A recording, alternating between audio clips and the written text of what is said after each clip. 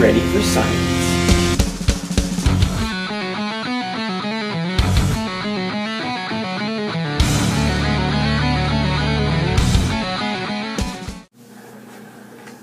A couple weeks ago, it became apparent that my initial strategy for screening my transformed diatoms for possession of GFP wasn't going to work. It turns out that we didn't have filters on two different systems to check for GFP expression.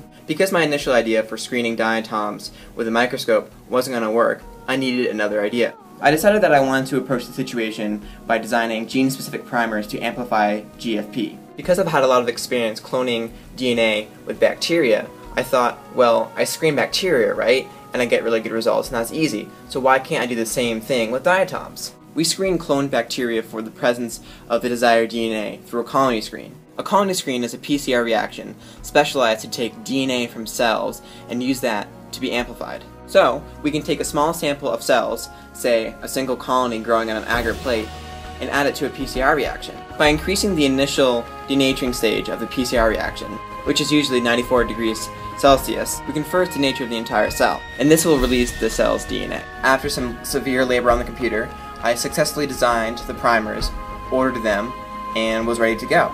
I started with the primary screening of six different cultures. So these were six different lines of diatom cells, and I didn't know whether they had GFP or not. Three of these cultures were diatoms growing on agar plates, and those actually, well, they worked. That is, my gene-specific primers were able to amplify GFP out of the diatom cells. So, with these really encouraging results, I went ahead and I screened 20 different diatom cultures to see whether they had GFP. The first step is to add diatom media into individual Eppendorf tubes. There is one Eppendorf tube for each cell line.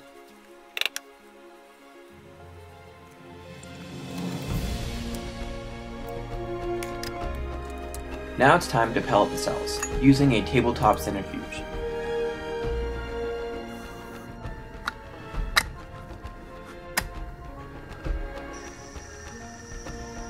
After the cells are pelleted, it's time to aspirate the supernatant from the vials, which is essentially vacuuming the water off.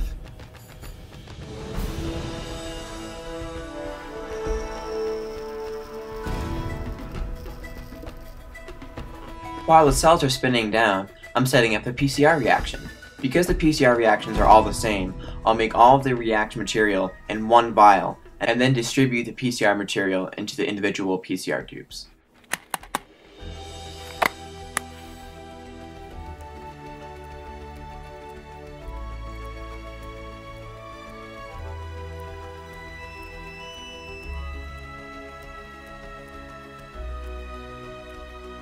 These PCR tubes are now ready for their cell samples. Now it's just a matter of adding the right cell sample to the right PCR tube. The accessory pigment fucoxanthin gives diatoms this nice brownish color. Here we can see the diatom sample at the top of the tube and the PCR reaction at the bottom of the tube. Then we spin down the PCR samples to make sure everything is in the bottom of the tube. A quick spin, then off to the PCR machine. It's a matter of loading the samples, selecting the cycle, and hitting go. While the PCR reaction is running, I'm going to autoclave some seawater for my larger cultures. This is natural seawater that's been filtered. Each flask gets a piece of paper towel, and finally capped with a piece of aluminum foil.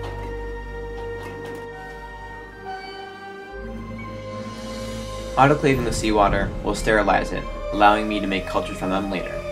Finally, while my PCR reaction is finishing up, I'll set my gel, so it's ready to be run once the PCR reaction is finished.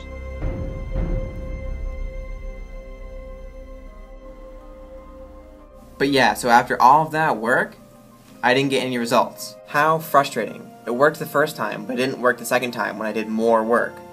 Stupid diatoms. I knew that there were enough cells going to each of the samples, so I didn't think that the DNA um, sample was really a problem. So what did I do differently this time? Well, to be honest, the first time I did the screening, I didn't get any results from liquid cultures. I only got results from diatoms that were growing in agar plates. And, well, diatoms grow in salt water, so maybe some of the salt in the diatom cells was messing up the PCR reaction. Because PCR reactions have very specific boundaries for, um, you know, certain chemical conditions, one of them being salt. So my professor recommended a few ideas of how to get around this problem, and I tried them. Um, but they didn't work.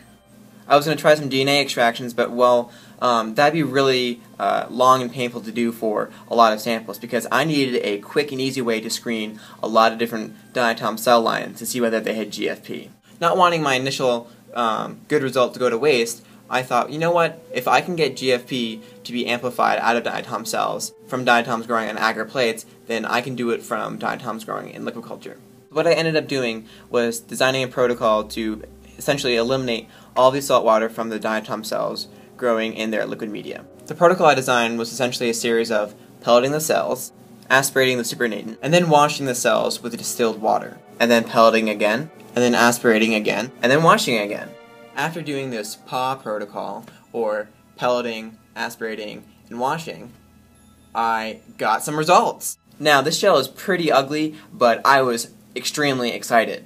Because any PCR band showing up on a gel from something that wasn't working before, that's, that's great news. So since this rather ugly but positive gel, um, I went ahead and I screened more cultures and it looks like they all have GFP, which is just fantastic news and I'm very, very excited. This now means I can kind of enter the third phase of my project, which is kind of getting near the um, stage where I'm going to get results. Results that will support my thesis and get me my degree. Yes!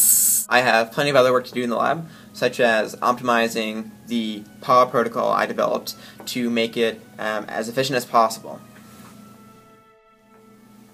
Damn,